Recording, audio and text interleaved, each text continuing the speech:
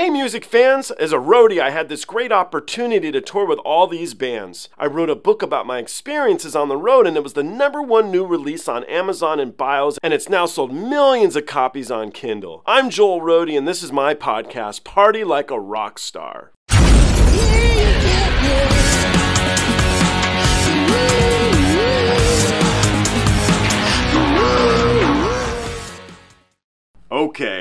The day us Tommy Johansson fans have been waiting for. Bohemian Rhapsody by Tommy. Come on. How could it get better? This should be something special. He had taken some time off. He was probably touring, but he was releasing videos like a champ, man, and he took a bit of time, and I'm wondering it's because he was trying to put this together. This is a big feat. There's a lot going on in this track and I'm excited to check it out. I hope you were too if you've already seen it. And if you haven't, let's do it together. Let's jump into this. It's gonna be good. Is this the real life? Is this just fantasy?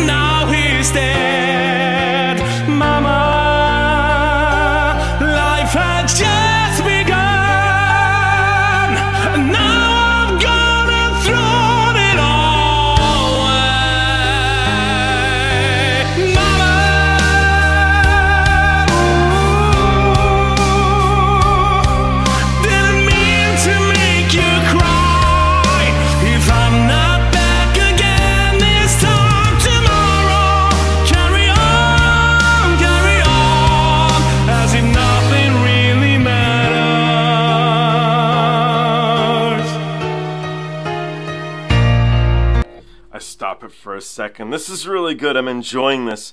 A lot of layers in the beginning there. That was interesting. That must have taken a while.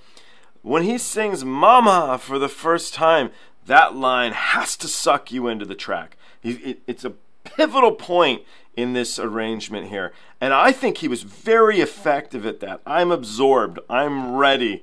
So I'm wondering if you guys are feeling the same thing right now. But that that mama, that first one, because it's so deep, mama, you know, it's a scream and it sucks you. So anyway.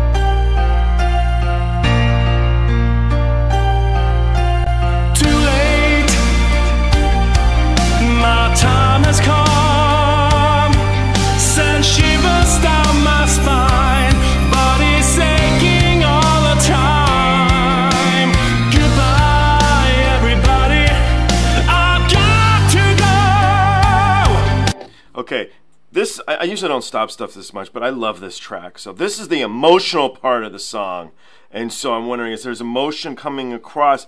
It's difficult. I'm such a big Queen and Freddie Mercury fan that I think that uh, Freddie Mercury for this little bit here was more emotional in the way he sang it. Just you know, I've got to go. I've got to go. So are you feeling the emotion? Because that's what this part's about.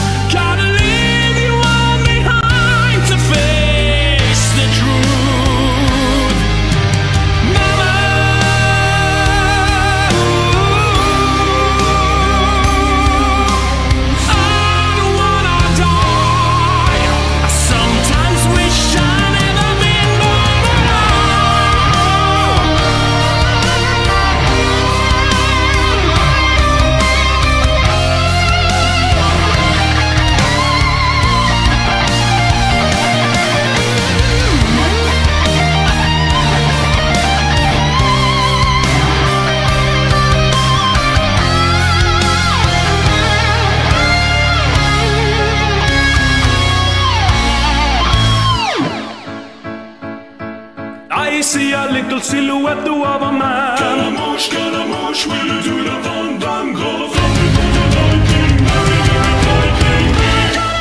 Galileo, Galileo.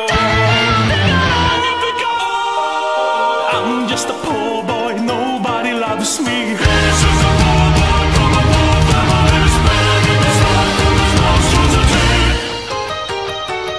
Easy come, easy go, will you let me go?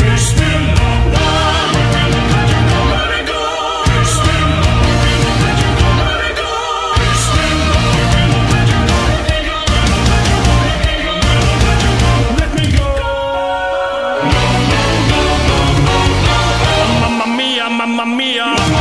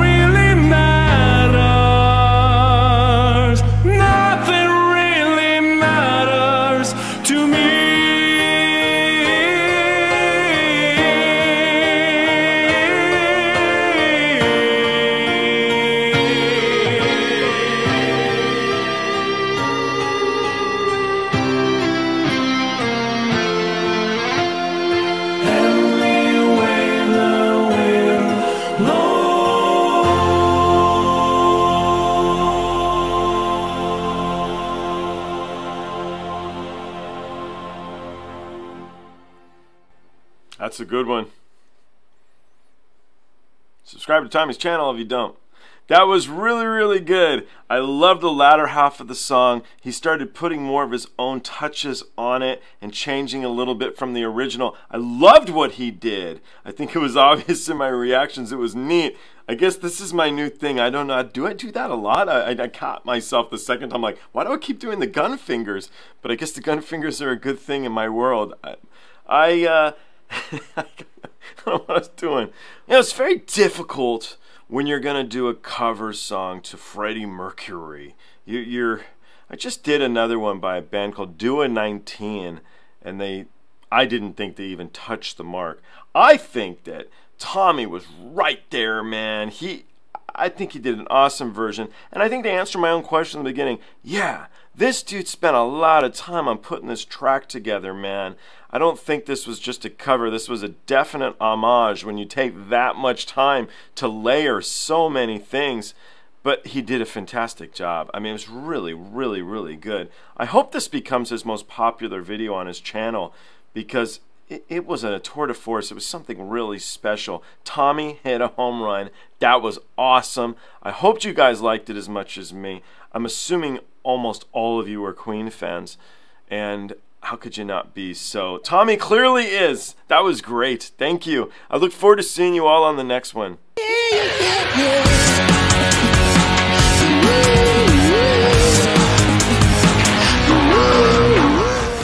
Hey guys, I hope you enjoyed the show. I now have a Twitter, Instagram, TikTok, Discord, and even a Patreon. The Patreon you can join for as little as one buck. The handle on all of them, it's of course Joel Roadie. I'll see you guys on the next one.